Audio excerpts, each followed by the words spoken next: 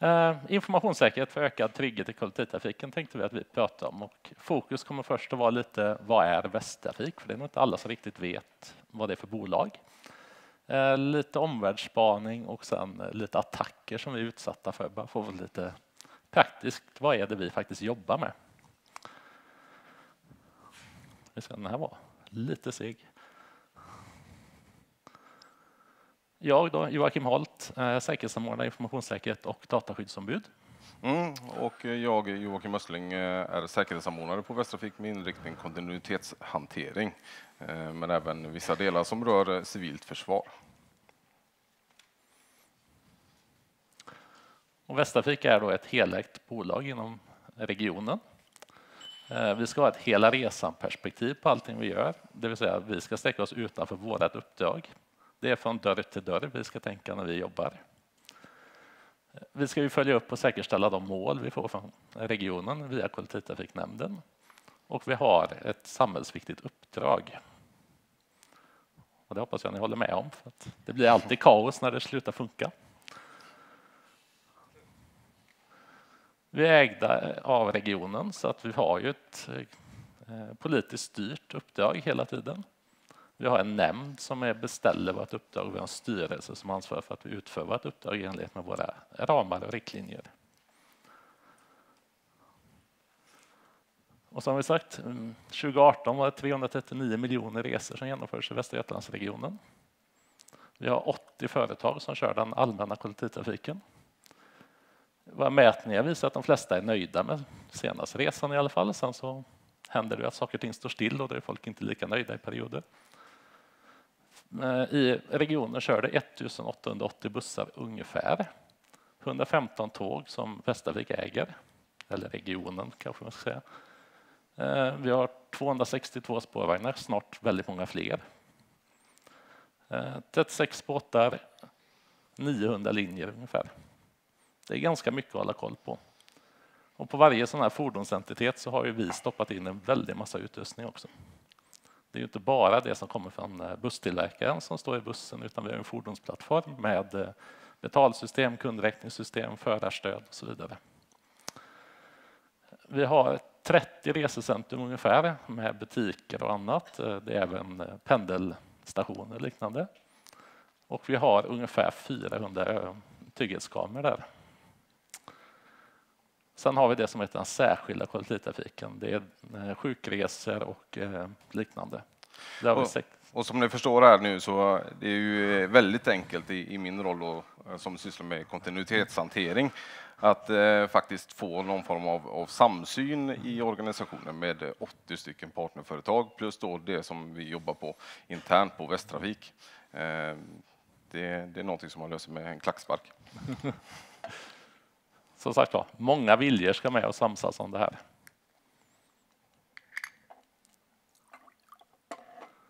Eh, vi har ett kundlöfte att eh, du alltid ska känna dig trygg hos oss. Eh, och det är det vi jobbar med egentligen. Det är vårt huvuduppdrag att se till att när du reser med Västervik så ska du vara trygg med både att vi hanterar dina uppgifter rätt och att du kommer dit du ska och att du är trygg ombord på våra fordon och hållplatser. Och hur vi jobbar med trygghet är ju först och främst hela och rena fordon. Det är otroligt viktigt. Det är det första som man börjar med. Det är att eh, säten ska vara hela. Det ska inte vara trasiga rutor. Det ska vara, inte vara skitigt och så vidare. För det är en, snabbt en otrygghetskänsla. Vi ska ha personal som är närvarande och alerta. Och vi har väldigt mycket olika typer av personal. Allt från förare naturligtvis till annan ombordpersonal, ordningsvakter, väktare, trygghetspersoner som är ute på test just nu som ni kanske har läst om. Nästa steg är att samarbeta med kommunerna, att se till att hållplatserna faktiskt är upplysta och städade. Vi äger ju inte hållplatserna, det gör kommunerna. Vi har kamerabevakning på våra områden. Det finns kamerabevakning ombord på fordon.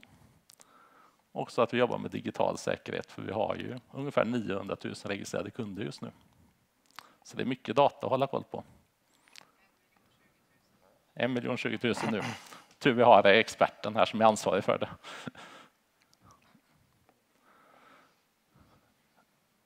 Och vi tänkte prata lite om våra kameror, för det är ändå, vi har 400 kameror som vi ansvarar för. Som vi sköter alla tillstånd och eh, kamerabevakning är ganska svårt. Det är bara för brottsförebyggande som vi har tillstånd just nu. I fordonen så är det varje respektive trafikföretag som ansvarar för att sköta och eh, söka tillstånd. Så det ser lite olika ut i regionen beroende på förutsättningarna, hur mycket brott det har varit i ett område och så vidare. Ehm, och sen eh, kroppsburna kameror har det varit ganska mycket prat om och det är respektive arbetsgivare som ansvarar för dem. Så det blir varje trafikföretag och vi för våra trygghetsvärdar.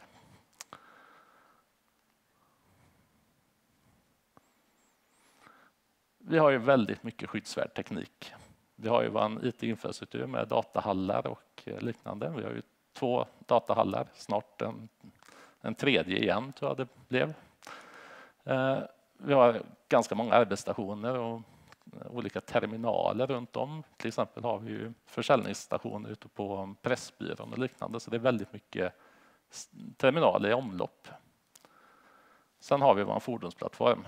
Går den ner så har vi ett problem. Då fungerar till exempel inte eh, talradiosystemet. Vi använder ju Rakel. Om det inte funkar kan inte trafikledningen ta kontakt med fordonen och eh, förarna kan inte ta kontakt med trafikledningen, vilket gör att trafiken stannar. Eh, så det är ett av våra mest kritiska system. Sen om eh, betalsystemen inte funkar så blir det väldigt mycket snack, men det påverkar egentligen inte trafiken eller grunduppdraget. Och sen har vi utrustning i eh, hållplatsmiljön. Då. Det är ju skyltarna, nu ser vi när kommer nästa buss och sådana saker. Och sen har vi lite med vad är det våra krav är. Så vi har valt tre områden här egentligen och det, det som ligger med i vår eh, eh, huvudinriktning är informationen till er som kunder. Att den är korrekt, att ni ska veta när fordonen är försenade, när de kommer, kommer de i tid, har de gått? Den informationen räknas som otroligt viktig för Västervik, att den är korrekt och tillgänglig. Sekretessen är naturligtvis väldigt obefintlig på den informationen. Medan informationen om er som kunder har otroligt hög sekretess. Den är nästan uppe på patientdatalagnivå på sekretessen. Så det, är en liten sån här dualitet som eh, vi måste hantera. Och sen har vi nya och förändrade lagar, till exempel NIS-direktiv som vi eventuellt träffas av och så vidare. Eh, lagen om informationssäkerhet och så vidare som naturligtvis ställer krav på att vi sköter vår informationssäkerhet och skyddar den datan vi har.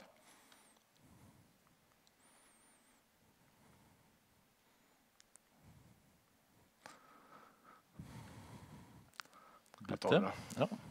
Uh, det är lugnt. Ja. Sköter det. Um, den tekniska utvecklingen i det här landet är ju fantastisk, eller hur? Vi, eh, vi ligger i toppen inom eh, många industrier just vad det gäller den tekniska utvecklingen. Men eh, vägen till digitalisering har ju också ett pris. Det som är prioriterat just nu är ju oftast just tillgänglighet att eh, saker och ting ska funka, att det ska finnas tillgängligt när man behöver det on demand. Priset som vi får betala däremot, som utvecklingen ser ut just nu, är att skyddsåtgärderna kopplat till densamma inte hänger med. Det här gapet mellan tillgänglighet och eh, skyddsåtgärderna ökar dagligen. Och en sån del, exempelvis IoT, Internet of Things. Eh, nu börjar det nya 5G-nätet rulla ut. Eh, får vi väl se eh, hur pass mycket förseningar det blir. Allting kommer att vara uppkopplat. Och med fler saker uppkopplade mot nätet så ökar också storleken på attackytan. Och det här måste vi adressera.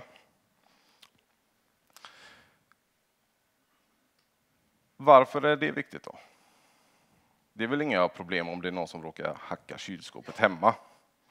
Tänker ni? Nej, kanske inte är. Inte just för er. Men om vi tar och kollar på det hela ur ett större perspektiv. Man eh, hackar eh, en större matvarubutiks kylar, stänger av kyl och frys under natten. Ja, det blir en ganska begränsad skada för samhället.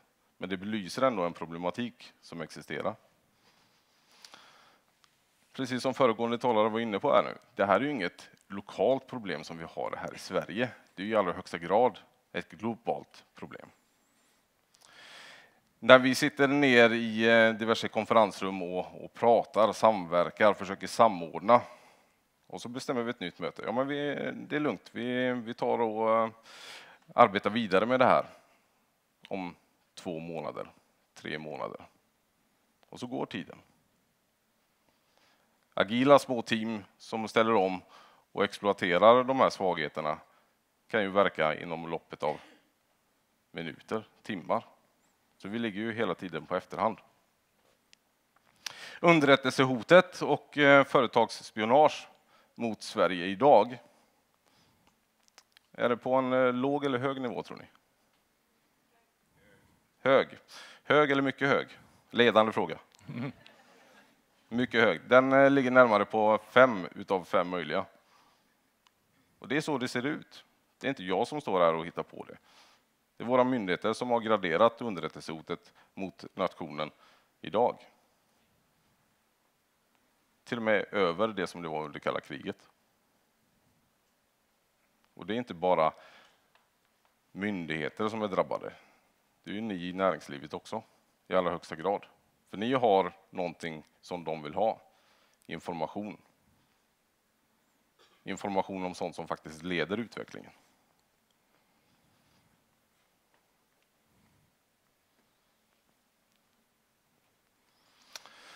Ett sådant eh, problem, id-kapningar, var också inne på. Vad är en, eh, en identitet då?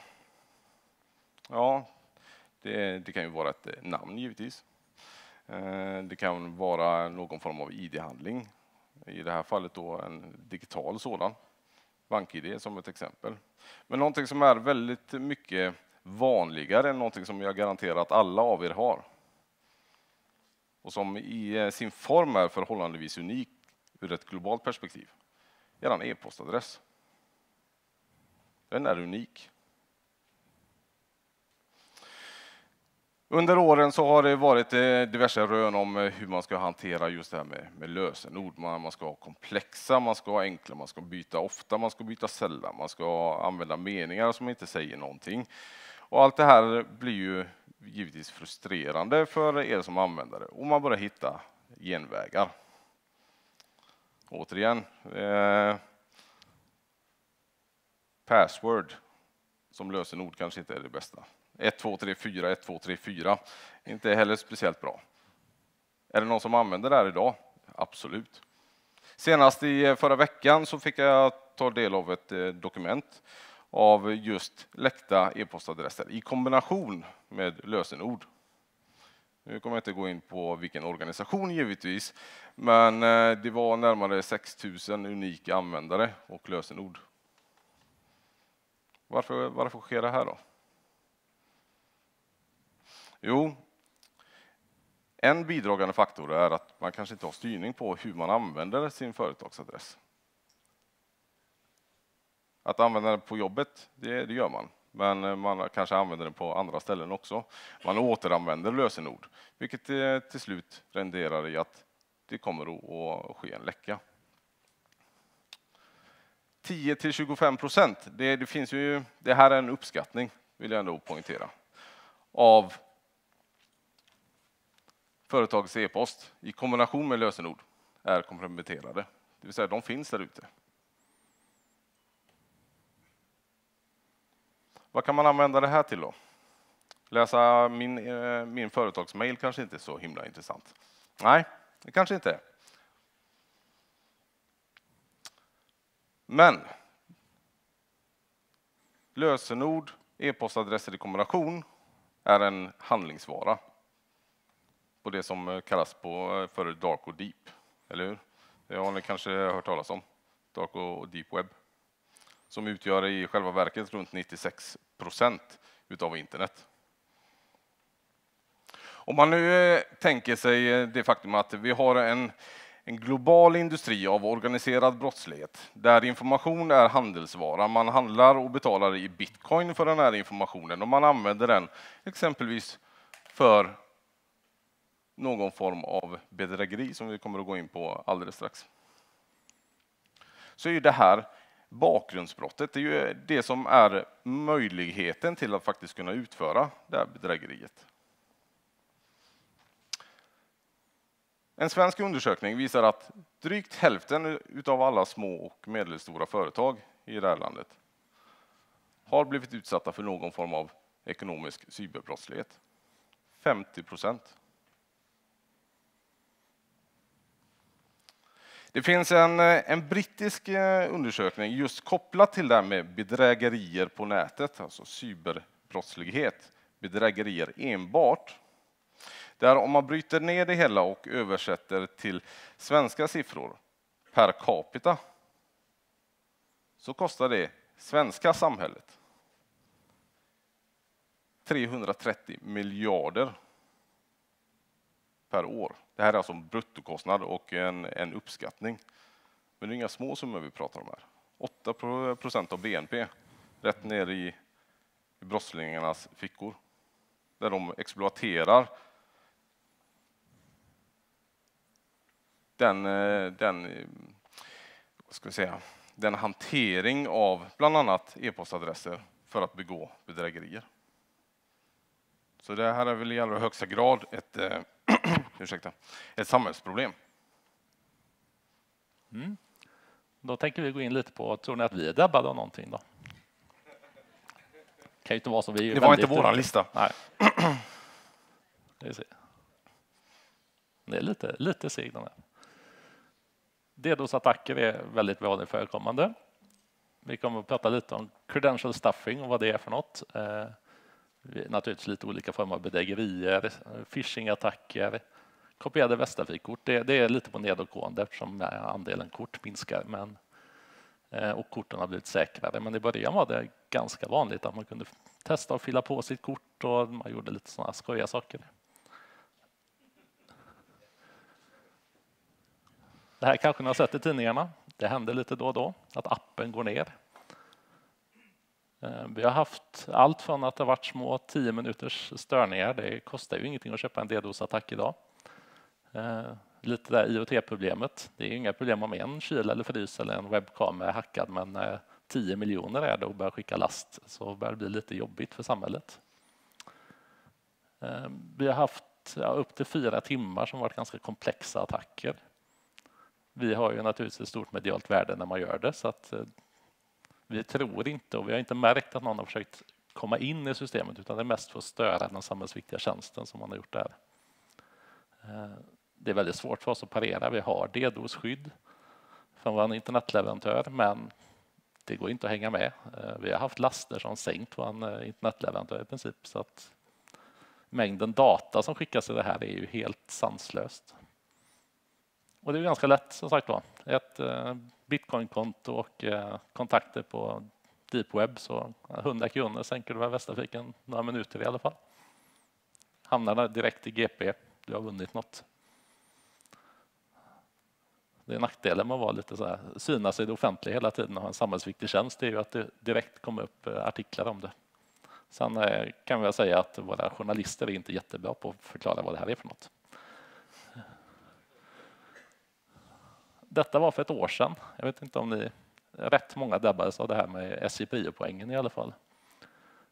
Eh, just det här med läckta lösenord. Vi ser det med jämna mellanrum, eller hur Anna-Karin? Man försöker logga in med användarnamn och lösenord, det vill säga e-post och ett lösenord. Och vi kan se att under en timme mitt i natten så får vi motsvarande en veckas eh, inloggningsförsök eller liknande. Eh, det är ett stort problem att man återanvänder sina lösenord för de här tjänsterna. Speciellt när det är som eh, i SJ-fallet där det faktiskt är ekonomiska värden som du förlorar när du gör det. Frågan är vems fel är det? SJ var väldigt snälla och betalade tillbaka SJP-poängen men var det egentligen deras fel? Det kan man ju diskutera. Och vi har samma problem med Skånetrafiken drabbades. Vi införde en massa motåtgärder i samband med det här. Vi märkte i alla fall inte och fick inga indikationer på att några konton blev komprometterade i den vevan som var då. Eh, och där har vi styrka med att vi faktiskt samarbetar lite, att vi får reda på det här så vi kan börja göra motåtgärder. Bland annat tog vi bort möjligheten att flytta med sitt kontokort när du byter telefon i appen. Det var just på grund av det här att du inte ska kunna bli av med ditt, eh, din app och den någon annan loggar in och sen kan köpa biljetter med ditt kort. Så det gäller att försöka hitta smarta lösningar som ändå gör att tjänsterna fungerar för er som användare, men att ni inte blir drabbade av den här typen så långt det är möjligt. Sen är det ändå lite grann upp till er att ha lösenord som inte återanvänds och läcks. Eh, vi har ganska mycket vd-mail och mail från rekryterare var väl det senaste och det, det dyker upp lite olika saker som tar sig igenom våra spamfilter och tar de sig igenom våra spamfilter så är de ganska smarta, då är de riktade. Eh, det har hänt att vi har fått in eh, både virus och lite annat den vägen, men vi har varit relativt förskonade i alla fall. Men det händer hela tiden. Det, kommer, det här ökar, framförallt på hösten och framåt jul, fredag eftermiddag. Folk är inte alerta på helgen. Det är då man klickar på de här länkarna. Kopierade kort hade vi ganska mycket i början när de plastkorten kom. Då var de inte så säkra som de är nu och vi hade heller inte alla eh, kontrollfunktioner på plats. Så att eh, det finns fortfarande appar att ladda ner där man kan manipulera värdet på korten men nu kommer de att spärras korten och du kommer att bli upptäckt. Men det är ju det. Så fort du har ett offline-kort så kan du börja manipulera det. Samtidigt så måste man ställa det mot att det ska vara lätt för er att använda våra resemöjligheter.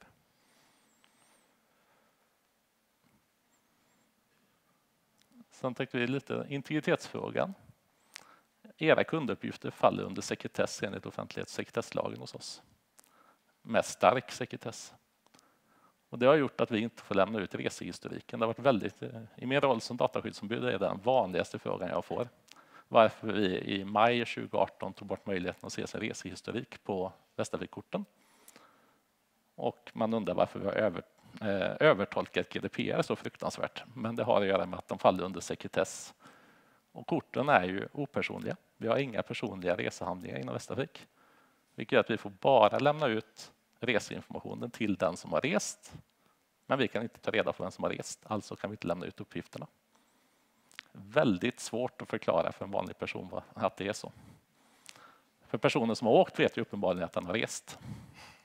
Oftast i alla fall. Det, det har hänt att det kommer lite frågor på det också. Så där är en utmaning och väldigt svårt, för vi har ju en skyldighet att lämna ut de ekonomiska transaktionerna. Att det har dragit 28 kronor för en resa i Göteborg, men vi får inte lämna ut att resan har gått mellan två hållplatser till exempel. Men det är väldigt nära information de här två.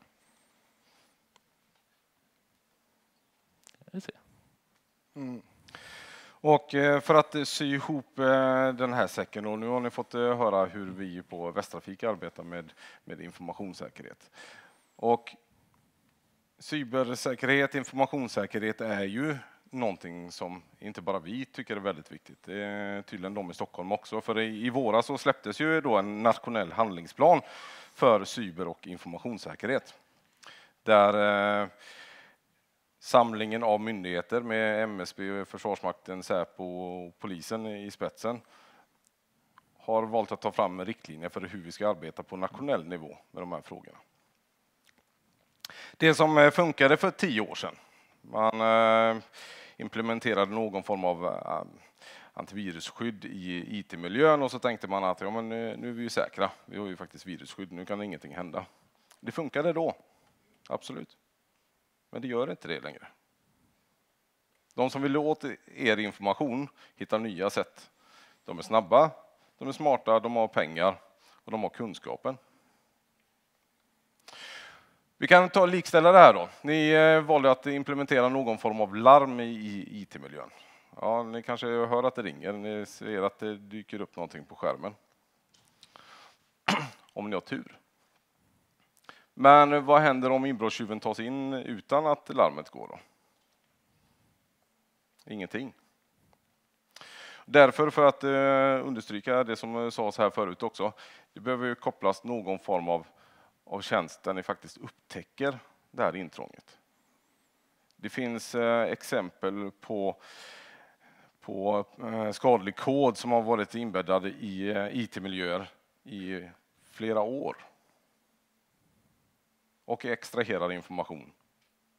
När ens de som har placerat koden där vill det. Det är väldigt mycket information man hinner extrahera på en 5-6 år. Men om ni nu vet att eh, det är en inbrottstjuv i huset så är ni ganska handfallna ändå om det inte finns någon form av, av åtgärd kopplat till det hela. Så första nyckeln som jag vill skicka med. Se till att ni har någon form av larmcentral kopplad till det hela. Det kan vara en SOC, det kan vara en funktion som ni har eh, internt. Men skaffa er en förmåga och förmågan är det centrala här. Bygg en förmåga. Både att eh, upptäcka och att agera på det som ni har upptäckt. Då kan ni få ner tiden. Med hundra dagar kanske. Och det finns ju bra lösningar, uppenbarligen. Informationssäkerhet. Ja, återigen då, om vi backar bandet lite grann. Informationssäkerhet, vad är det? Vi behöver inte backa bandet speciellt långt, inte ens tio, vi tar fem år. Ja, men det är ju en IT-fråga, det får IT ta hand om. Ja, det, det är väl en sak. Men om man tar och får ett, ett annat perspektiv på det hela, vad, vad kan faktiskt hända med er läckta information? Hur påverkar det varumärket? Som ett exempel. Så att eh, informationssäkerhet det är inte en IT-fråga, har egentligen aldrig varit, utan är i allra högsta grad en ledningsfråga.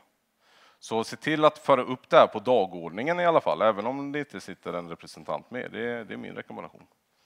Prata där. om det här på hög nivå. Och där kan man säga att säkerhetsbranschen har varit dåliga på att prata på ett språk som ledningar förstår.